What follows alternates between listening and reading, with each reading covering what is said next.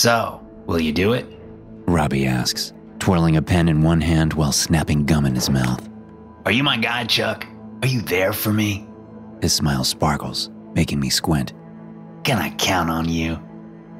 I wonder briefly how much his teeth whitening regimen costs. He has his feet propped on the desk. I can see the logo in the soles of his shoes. They're a special edition model. No way you can get those without a connection in the fashion world. He's waiting for an answer, so I drag my mind from the sludge of low grade envy and look into his eyes. A dozen possibilities rush through my mind, only one of them good. Although good isn't exactly the right word, not in the moral sense. Are those still a thing? Morals? I thought they were, but now I'm not so sure. Yes. I finally say, forcing the word out of my throat like shoving a scared fat kid down a water slide. His smile gets a thousand lumens brighter before it suddenly vanishes, letting my eyes relax as he pulls his feet off his desk and leans over. He peers over the marble topped desk, his face reflected in its surface smooth skin, plucked eyebrows, the perfect amount of facial hair. Thank you, he says. Seriously, this is important for all of us. By us, I know he means our team, which is made up of Robbie, me, two other guys, and one woman. Aside from Robbie, I'm the most senior. Now fuck off and get back to work, he says, leaning back again, with a smile back on his perfect and perfectly smashable face. The bastard. He has it all, and he's only two years older than me. As I leave his office, I tell myself that he was where I am now two years ago. If I play ball, do what I'm asked, and keep busting my ass, I'll be where he is in just two years 730 days, 17,520 hours, 1,051,200 minutes. Of course, not all of that will be work time. I'll be sleeping for some of it. For all the other hours, I'll be commuting or social engineering or thinking about work. Working, sleeping, schmoozing, commuting. Just two more years of this shit before I can finally relax a little and enjoy myself. I'll be the goddamn boss. I'll walk around like I have brass balls and a credit card made of solid fucking gold. I nearly bump into Jaden, Robbie's assistant, when I'm heading out of the reception room. So sorry, Mr. Braxton, he says. Fucking watch it. I tell him.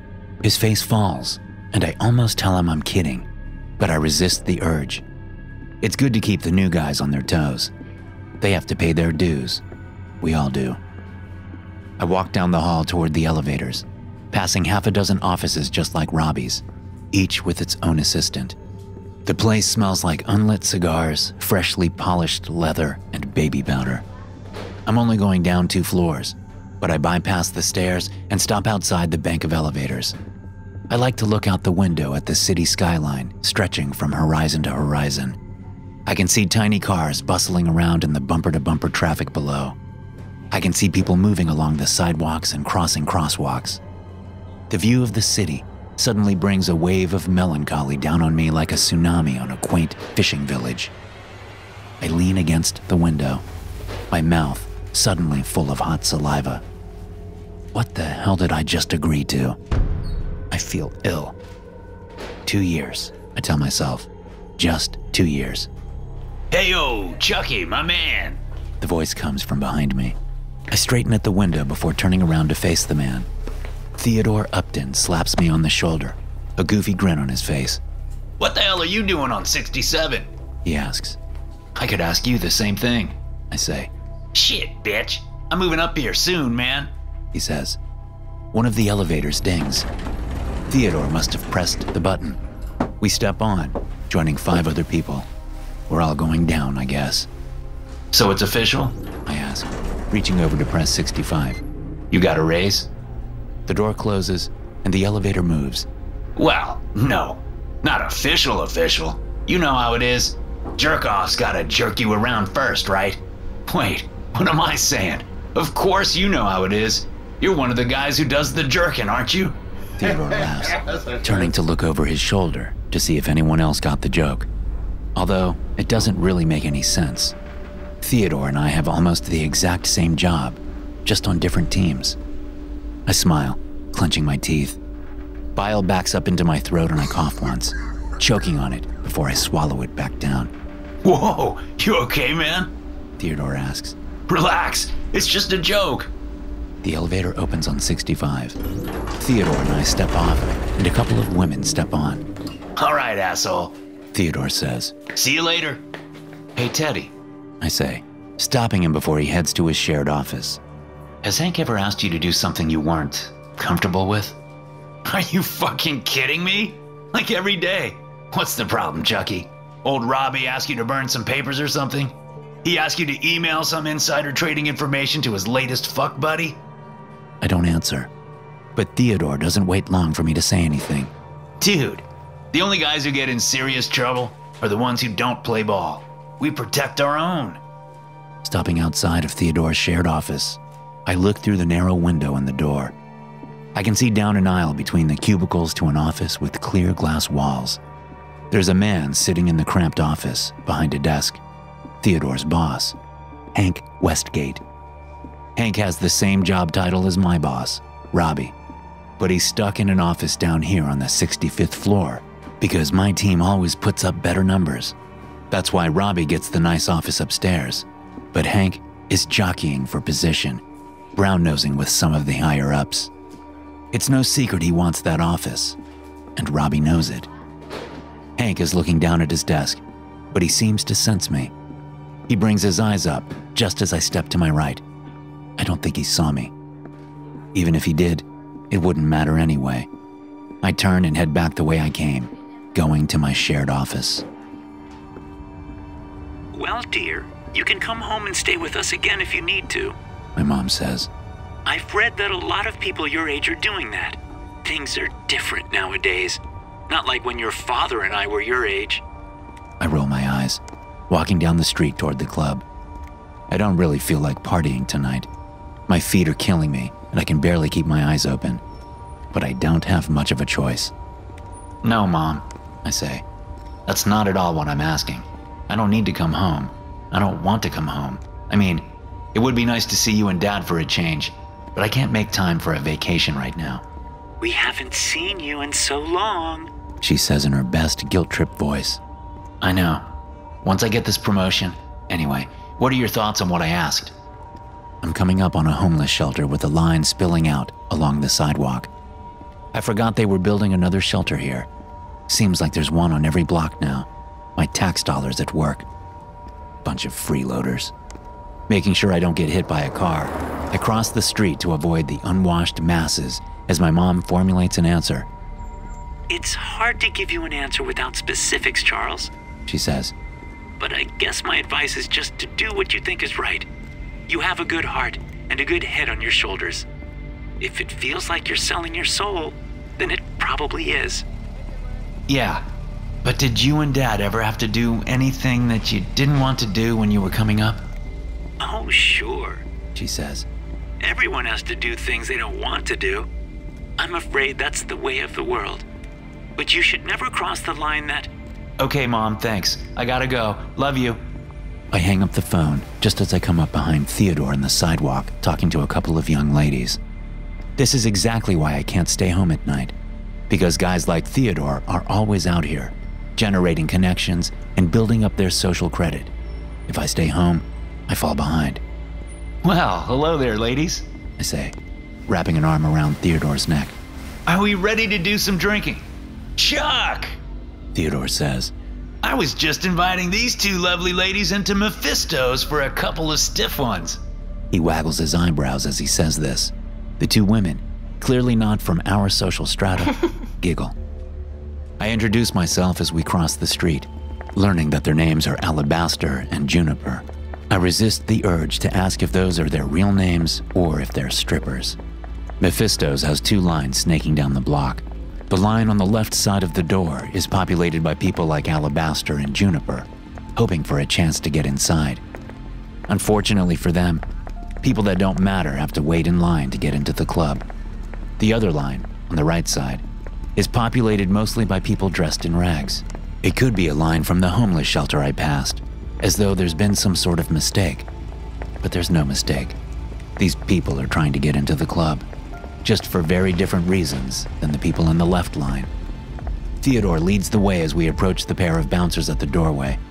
I see Theodore shake his head once, very discreetly, as we approach. The bouncers open the door and let Theodore and me inside, but they stop the ladies. We both turn around and look at them. Their faces are petrified, but there's still some hope in them. They think we'll be able to talk to the bouncers to let them in. They think they'll be the envy of the entire line of people trying to look like they don't care whether they get in. But they're wrong, Oh, sorry, ladies. Theodore says. I forgot. This place has standards. The embarrassment on their faces is priceless. We laugh as the door shuts and we head up the stairs. Oh man, that never gets old. I say, ignoring a sudden bout of nausea. Must have been something I ate. Mephisto's has nine levels of dance floors, bars, lounge areas, and private rooms. The bouncers at the door occasionally let people in to purchase overpriced drinks on the first floor. But it's not where anyone wants to be. It's kind of like a waiting area where the desperate wait and hope to be brought upstairs. Each floor has its own set of bouncers, controlling who can go up to the next level. The highest floor Theodore and I can get to is the fifth. We've heard wild stories about what goes on at the levels above, but we'll have to wait to find out for ourselves whether they're true. Our bosses, Robbie and Hank, do their partying on the sixth floor for the most part, but they sometimes come down to rub elbows with their lessers, which is what we do as we make our way through the club. On the second level, we move through the thrumming dance floor and toward a bar at the edge of the room. Lights flash in time with the bumping music while people dance and chat and laugh. We pass a line of booths on our left. The homeless people who've made it inside stick out like sore thumbs. Of course, that's kind of the idea. The founders of Mephisto's had a genius idea to use homeless people as personal waiters for anyone who requests one. They work only for tips, and the club doesn't have to worry about pesky things like paying them an hourly wage or giving them tax documents or anything. Apparently, the owners of Mephisto's found some kind of legal loophole in the city's laws that allows them to don charity status. The homeless people volunteer and take what they can get as far as tips. Of course, things are a little different on the other, higher floors. Given what goes on up there, there's a general consensus that the homeless who work those floors will walk away with a decent chunk of change. Theodore and I grab a drink and see who's around. We stay on the second level just long enough to feel like we've been seen before heading up to the third. We don't spend too much time here because there's no one important around. On the fourth level, we pass homeless people who volunteered to work here. They act as human footrests or seats for patrons. Many of them are dressed in their underwear. Some dance in front of tables while the patrons laugh and throw dollar bills at them. It really is brilliant. A win win for everyone. The bar saves money, which it then passes on to the consumers, who then pass it on in the form of tips to the homeless people. Trickle down economics at work. Gotta love capitalism. After stopping briefly on the fourth floor, we head up to the fifth, where the real action is at. We find a private room with some of our coworkers inside, stepping into a wave of shouted greetings. The room features screens on all the walls showing camera feeds from the dance floor and bar outside, so we can see who's here. It also has two large booths facing each other. On the wall, under one of the screens, and between the two booths, is a homeless man with a bushy gray beard. His arms and legs are fastened to the wall with restraints. He's dressed only in a ratty pair of underwear. I can see a bunch of fresh scars on his skin. He must be a regular. Well, who do we have today? Theodore says, stepping up to the man. I don't recognize this one. What's your name, man? The guy lifts his hanging head, shame seeming to spill out of his eyes with his tears. Travis. He says. Oh, Travis! Theodore says loudly, looking around and getting laughs from some of the people in the room. Nice to meet you. Theodore turns away, but then spins around and spits in Travis's face. You're the biggest piece of shit I've ever met. Theodore says. You're worthless, and I would like to gut you with a knife right here and now. Nothing would make me happier. The room goes suddenly quiet at this outburst. We all look at each other before bursting into laughter. The party continues while Theodore pulls out a $100 bill and shoves it into the waistband of Travis's underwear. Just wait until you get to the eighth floor, Teddy. Someone shouts. I hear you can do that up there. Laughter ensues. I know this is just the beginning for Travis. As the night goes on and people get more wasted, he'll take much more abuse, both physical and mental. But he'll walk away with a decent chunk of cash. Not enough to afford an apartment in this city, but still, better than nothing. At least he's working for a living and not just living off of handouts. My nausea intensifies, and I look down at my drink. I don't know if it's something I ate or if there's something in this damn drink that doesn't agree with me. Either way, I set it down and head out toward the bathroom. As I'm making my way toward the restrooms, I see Hank coming down the stairs from the sixth floor. Moving swiftly to my left, I duck behind a pillar so he doesn't see me. He must be calling it an early night because he heads down toward the fourth level. I follow at a safe distance, trailing behind him as he goes all the way down to the first level, where he stops and talks to a tall brunette woman in a sparkly dress. She throws her head back in laughter at something he says. She's really laying it on thick. I watch from the other side of the dance floor as they chat for a minute. The woman points up the stairs and pouts. She seems to want to go up there, and she thinks Hank will take her. She must know the rules. After a little more back and forth, they head toward the exit. I wait a few beats before following, stepping outside and looking to see which way they went. I spot them to the right, crossing the street to the next block. That sick feeling in my stomach intensifies as I walk down the sidewalk, eyes fixed on Hank and the woman. They walk arm in arm. Every so often, the woman laughs loudly at something Hank says. If it's genuine laughter, then I'm Elon Musk. Still, Hank doesn't seem to mind. All he cares about is that she's humoring him all the way to bed. Putting a hand in my pocket, I feel the small knife I always carry. You never know when you'll need to defend yourself on these grimy streets. Ahead of me, Hank and the woman turn down a small side street. They must be going to her apartment, because Hank certainly wouldn't live in this part of town. Fingering the knife, I turn the corner after them. I'm closing the distance. Every time the woman laughs her awful, fake laugh, I rush ahead, using the sound to cover my footsteps. So far, they haven't looked back. They're oblivious. I'm about 10 yards away now, walking on my toes so as not to make much noise. We're alone on the street, and there's an alleyway coming up on the right. They're going to pass right by it.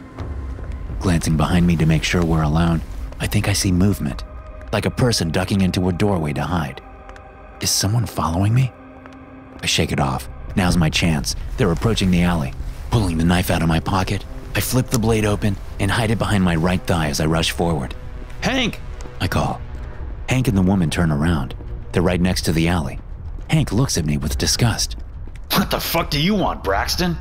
He says. He has no idea what's coming. I step up close, a pleasant smile on my face. I try to ignore the sick feeling in my stomach, even though I feel like I might vomit at any moment. You dropped something. I say, taking the knife from behind my leg and jamming it into his chest. Leaving the knife sticking out of him, I shift and punch the woman in the face. She totters backward and collapses into the alley, unconscious. Turning my attention back to Hank, I'm pleased to see that he's still staring down at the knife, dumbfounded. I grab the weapon with one hand and shove him into the alley with the other. He trips over the woman and falls onto his back. I jump on him, stabbing him in a frenzy just to get it over with. After plunging the blade into him a good 15 times, I lurch up and vomit against the alley wall. Oh, you asshole! A familiar voice says from behind me. I turn, vomit still dripping from my nose and mouth. Theodore stands there, looking down at his boss like he's a plate of spilled food. You fucking asshole! As I look around wildly, a thousand thoughts rush through my mind. Do I kill him now too? How can I not? I'll go to jail if I let him live. Leading with the knife, I stagger toward him. He looks up at me. You don't waste any time, do you? He says. This stops me in my tracks. I stare at him in confusion. Dude, He says. how did you think I was going to move up to 67? Hank told me to kill Robbie.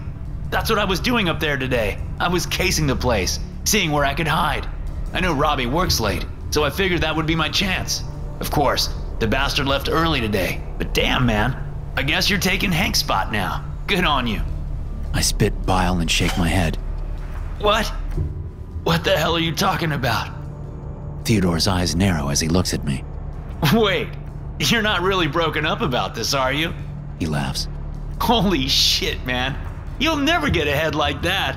Are you serious right now? Dumbfounded, I look down at Hank's corpse. That sick feeling comes back, and I gag. Theodore steps toward me. I raise the knife and he stops. Whoa, whoa, man. He says, It's okay, dude. I'm not gonna hurt you or rat you out or anything. Just don't stab me, okay? I lower the knife but keep it in my hand as Theodore puts his arm around me. I don't get you. He says, I mean, what about the homeless woman we killed last week? You fucking cooked and ate a chunk of her ass. I've seen you kill dozens of people. What's wrong with you? I shake my head. Yeah, but all those people were poor or middle class. They don't count. They don't matter. Hank, though, he's one of us, man. He's one of us. It just doesn't seem right. Theodore giggles.